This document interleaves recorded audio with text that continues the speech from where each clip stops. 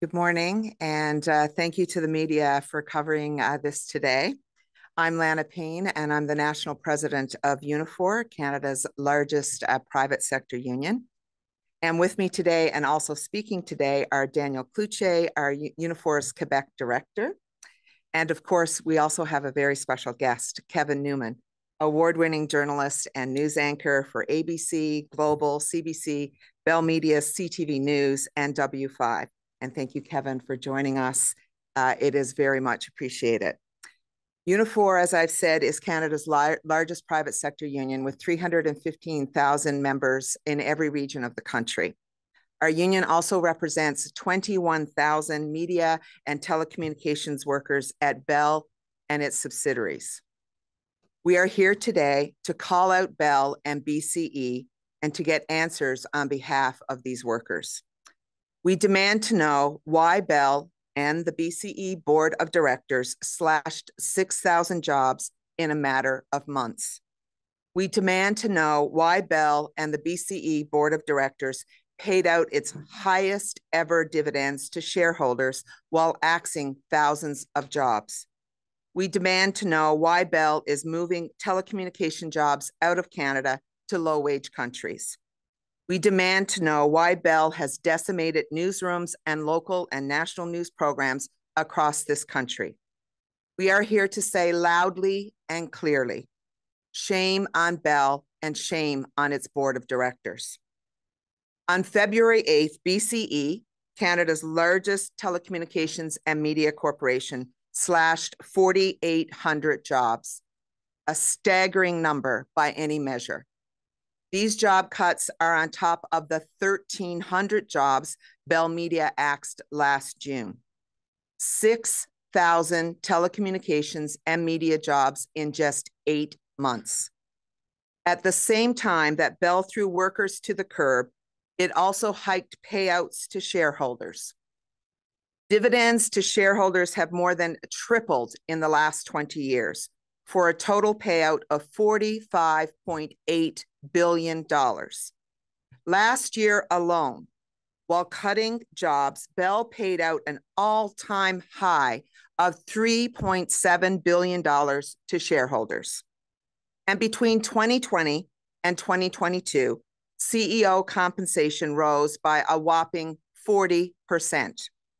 Is it any wonder why workers in this country are angry? Today, BCE executives were to appear before the Canadian Heritage Committee. They postponed for the second time, refusing to be accountable for their decisions and their actions. Instead, this week, Bell will continue to hand out pink slips to Unifor members.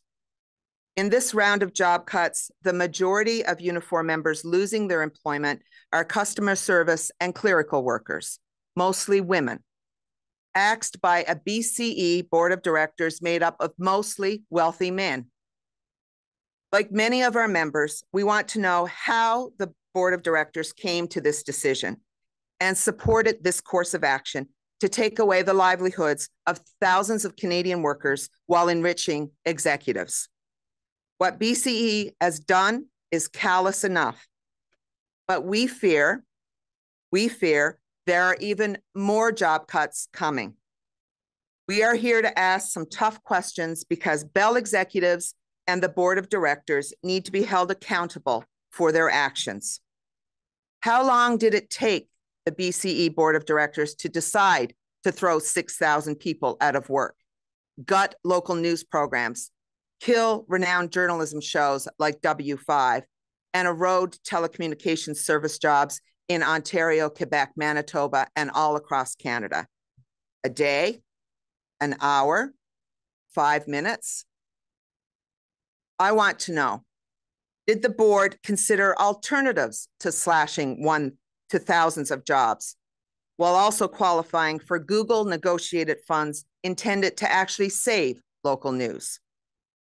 How much time did the Bell BCE board take to consider the plan to fire thousands of workers compared to, say, discussing corporate executive compensation, such as the 20% pay raise the president and CEO received in 2022, and the 40% pay raise between 2020 and 2022? Did they make the decision to slash jobs in one breath and hike dividends and CEO pay in the very next breath?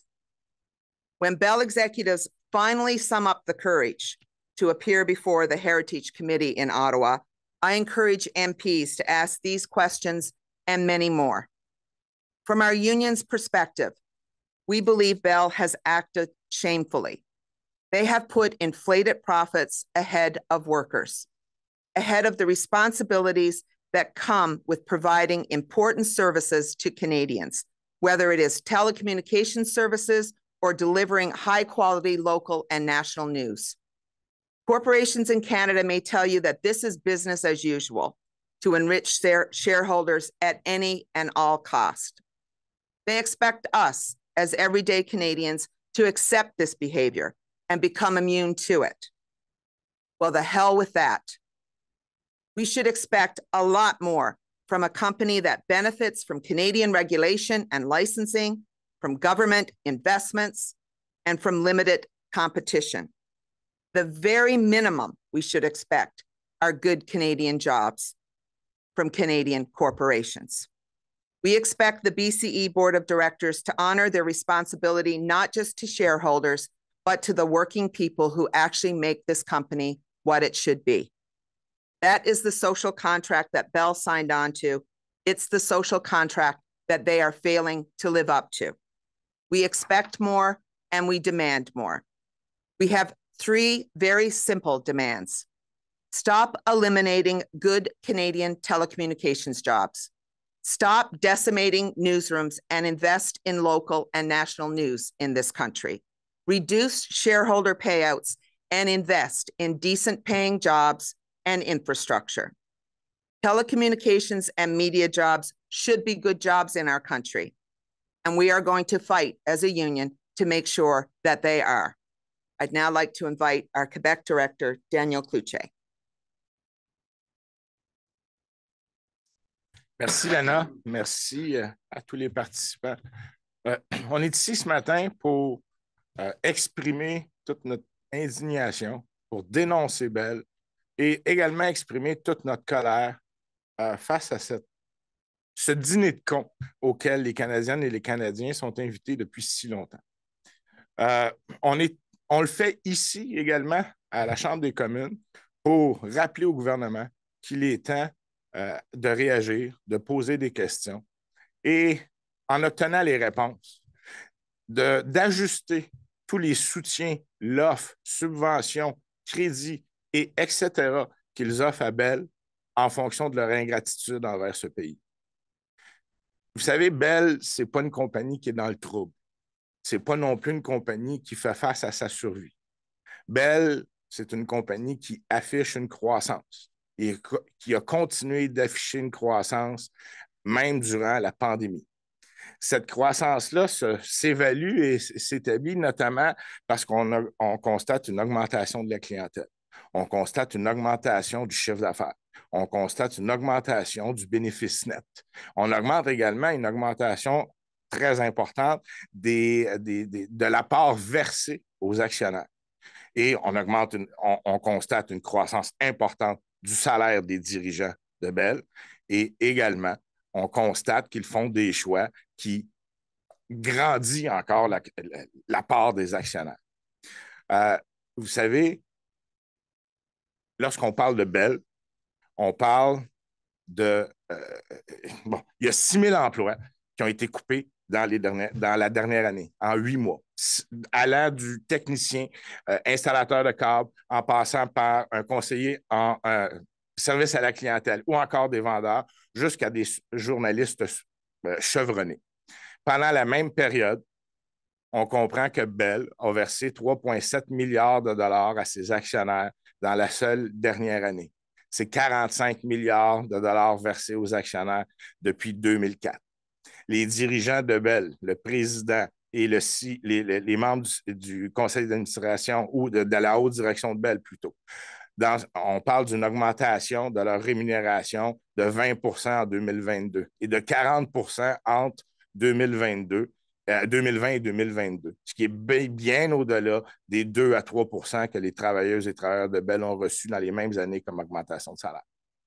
Euh, donc, Bell, ce n'est pas une compagnie qui est dans le trouble et ses actionnaires non plus, ce pas des actionnaires qui sont dans le trouble.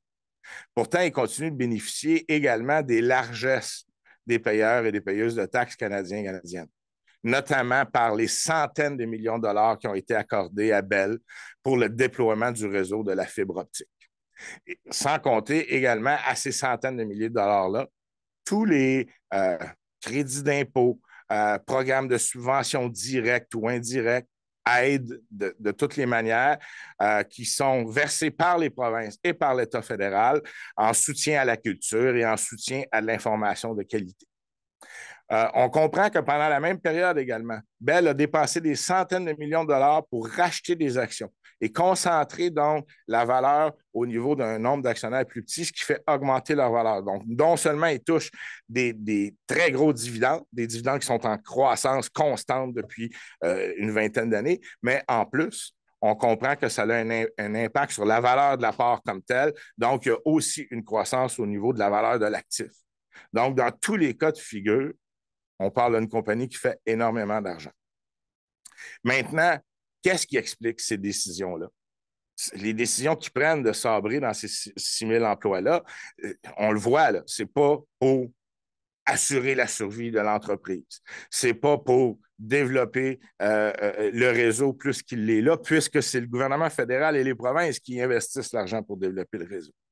La seule motivation qu'on peut voir, c'est d'enrichir les actionnaires et d'enrichir les dirigeants de Bell et, le, conseil d'administration de Bell. Il est temps que ces gens-là rendent des comptes à un moment donné. Parce que c'est quoi la limite à ça? C'est quoi la limite à ça quand on, quand on coupe des milliers d'emplois et quand on affaiblit la démocratie canadienne? Parce que ça aussi, c'est en, filigrane.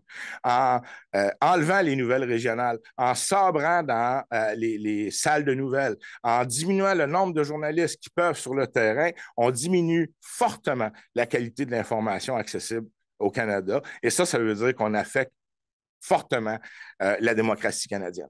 Et donc, dans ce sens-là, c'est quoi la limite à ce que les actionnaires peuvent faire comme profit, comme sous, comme revenu, quand le prix à payer, c'est au niveau des emplois de qualité et c'est au niveau de la démocratie canadienne?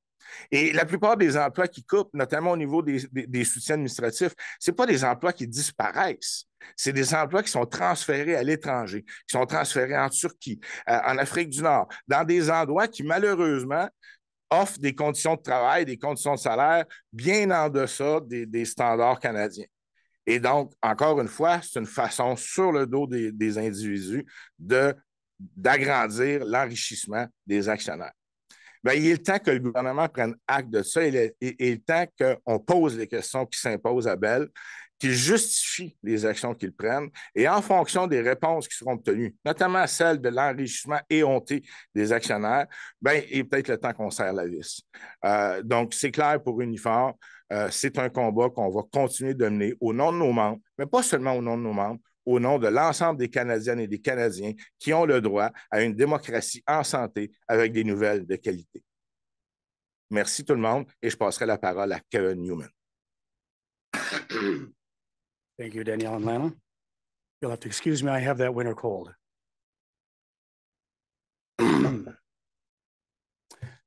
I was um, encouraged to come today by some former and current uh, employees of Bell Media who are unable to speak up or are contract contractually obligated not to. Uh, but they wanted Canadians to hear their concern that the constant news cuts are now to the bone and it's at a time when verified, fact based reporting is under severe strain from external forces and their own company. First, let's talk about the outside threats. Canada's security agencies have been warning for some time that the number one threat to this country is cyber threat actors attempting to influence Canadians and degrade trust. The CSE added last month disinformation has become ubiquitous and adversaries are now using generative artificial intelligence to create and spread fake news. NATO calls this cognitive warfare. It is aimed at Canadian families to try to get into their heads, influence our decisions, and undermine our truth.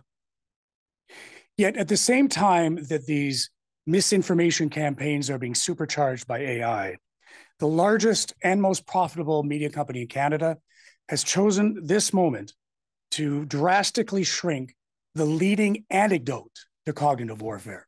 That's verified journalism and its number one source for it in Canada, CTV and Bell Radio News. You know, this is about more than journalists losing their jobs. This is about the safety and security of Canadians that we are only barely aware of and already surrendering to. This weekend, after 58 seasons, the show that I was proud to be a part of before I retired, W5, will air its final long form investigative report. It's worth remembering that W5 began in 1966, and that was a time when CTV was on the verge of bankruptcy. But even then, it took on the powerful governments, politicians, corporations, criminals. W5 survived every change in ownership. It survived intimidation tactics. It survived uh, multiple threatened lawsuits. It even survived the toughest time slot in Canadian television against Hockey Night in Canada. But in the end, what it could not survive was the premier focus of its current leadership, which is maximizing shareholder value, share price, and capital return. Excuse me. With the world rapidly destabilizing and becoming much more dangerous, Bell Media has chosen now to close all of its international news bureaus. With climate change, uh, sorry, news bureaus outside of North America. With climate change and cyber attacks becoming more commonplace in our communities across the country, Bell Media has chosen now to eliminate most of its street radio reporters. Bell Media has chosen now to leave many of their local TV newsrooms abandoned on weekends. It's reduced the number of employees covering national news in each province outside of Ontario to one person. One. And Bell Media continues to eliminate the most experienced journalists and anchors that Canadians had learned to trust. All of these decisions risk making Canadians less able to combat cognitive warfare with verified facts and credible reporting. We are opening the door even wider to misinformation and manipulation, which further polarizes Canadians and reduces our country's resilience to this new kind of hybrid warfare. Take another sip.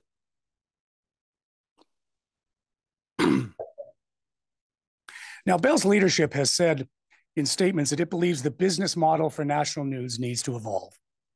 And I have to tell you that everybody who's spoken to me agrees with that wholeheartedly.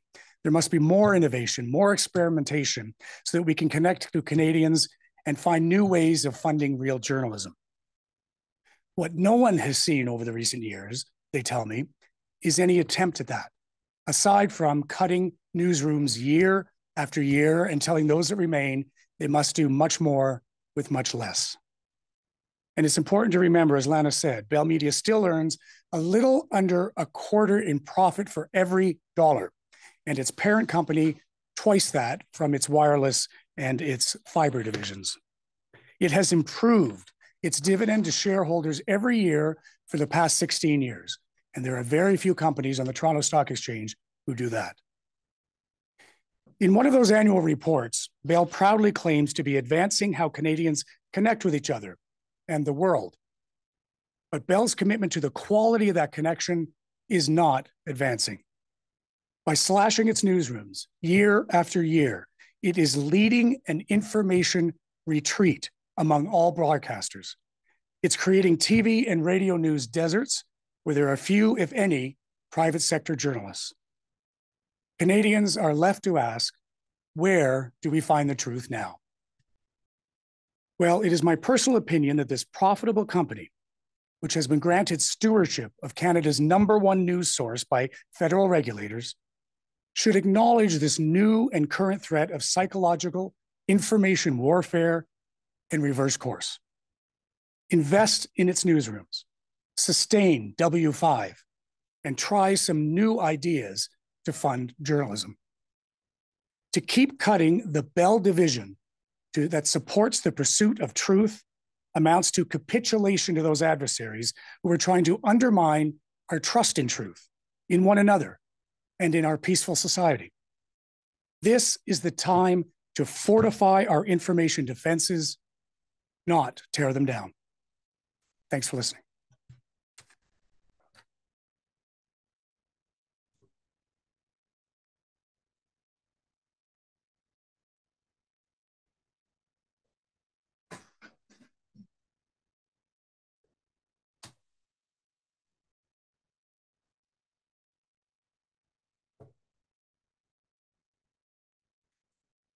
Great. Thank you very much. And thank you, Kevin. Oh, go ahead. we have people in the room. Part of uh, a lot of people out there say, oh, can't have more relief for government funding. What can be done outside of it? Well, I think that there are things that governments can do, and they have been doing some of them, either through regulation, either through support, direct support, um, some of the the new initiatives around supporting journalism directly, uh, you know, labor uh, credits to to hire journalists. All of those things are important, and it's important that no matter the government of the day, that they continue uh, to do this in many many ways. But also, you know, producing news is is a privilege in this country. It's particularly a privilege when you've been granted uh, broadcast rights to be able to do it. And I think we have to put this in perspective. These companies are still making a lot of money. Bell Canada, BCE, they make a lot of money. They have a responsibility, a responsibility to deliver high quality news to Canadians. And that means investing in those newsrooms, as Kevin has pointed out, and, and not thinking that just because every single thing out there doesn't make them a ton of money, that they stop doing it. That is, that is not the social contract that they signed up to. And, uh, and we expect more of them. And by the way, I would say to Bell and BCE, read the room in this country right now. People are angry at corporations who continue to do this, optimize shareholder profit without investing in the services that they promised to deliver to Canadians. And we're going to be calling them out for it. And we expect Canadians to call them out for it and continue to demand that they are accountable for their actions and their decisions, and that we continue to push them to invest in local news in this country. Yes, absolutely. That might be in French as well after. Yeah, I mean, I, I, don't really want to comment on, on government support of journalists because that's not that's not what um, what Bell Media does. I mean, Bell Media has has taken some support during um, uh, the COVID, like many companies did. But this is this is private sector journalism, and it it's possible and it's necessary.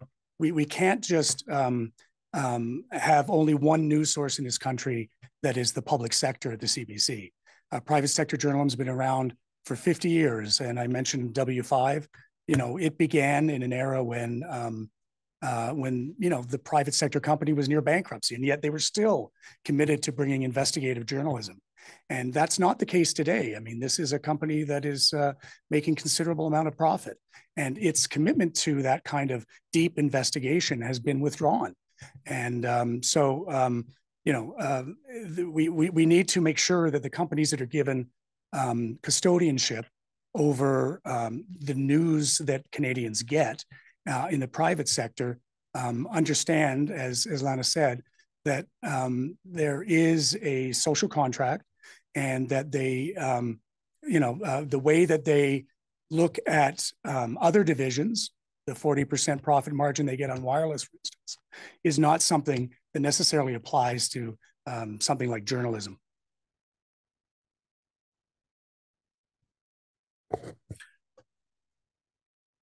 Une des questions, c'est de savoir euh, à qui appartient la responsabilité euh, de produire les nouvelles. Est-ce que c'est une responsabilité qui appartient à l'État ou est-ce qu'il y a l'entreprise privée qui doit le faire? Euh, donc, la question, est-ce que le gouvernement peut aider? Oui. Est-ce qu'il y a des façons de le faire? Oui. Euh, est-ce qu'ils peuvent le faire, par exemple, en subventionnant directement des journalistes, en donnant des crédits à l'embauche de journalistes? Euh, donc, il y a différentes façons. Mais reste qu'il y a un investissement privé nécessaire et une rentabilité privée à la clé de ça. Donc, il y a une très grosse responsabilité qui provient de ces entreprises privées-là qui génèrent des profits tout en accomplissant leur devoir de produire des nouvelles de qualité. Maintenant, euh, on comprend tout qu'il y a un bouleversement au niveau de la livraison des nouvelles comme telles. Euh, mais il faut faire une, distinction entre le médium qui livre la nouvelle et le journaliste qui produit la nouvelle. Et en ce moment, ben, il semble, Belle ne semble pas faire de différence entre les deux. Elle sabre littéralement au niveau des journalistes qui produit la nouvelle. Euh, et, donc, il faut leur rappeler leurs obligations, leurs devoirs aussi envers les Canadiens.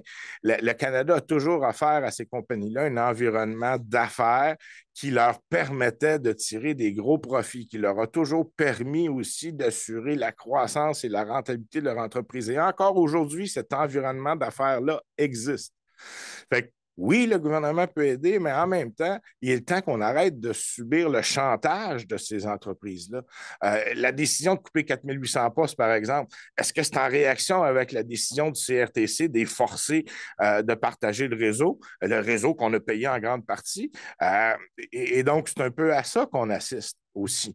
Euh, donc, la bonne question, ce n'est pas de quelle manière le gouvernement peut continuer de soutenir, c'est de quel, engagement ces compagnies-là doivent prendre pour eux-mêmes continuer de soutenir les nouvelles, soutenir les moyens de diffuser et soutenir euh, la technologie nécessaire pour les diffuser. Maintenant, ben, c'est vrai qu'on n'a pas vu de, tant d'innovation que ça, dans le sens que tout ce qu'on assiste depuis des années, c'est des compagnies qui braillent que l'environnement et que le gouvernement euh, fait en sorte que c'est pas facile pour eux autres de faire des affaires pendant qu'ils coupent et qu'ils coupent et qu'ils coupent et qu'ils coupent. On n'a pas vu de, façon d'essayer de réinventer qu'il y a un journaliste qui produit de la nouvelle et que là, on le diffuse de façon, euh, disons, moderne ou euh, de différentes façons qui va permettre à cette nouvelle-là de se rendre aux Canadiens.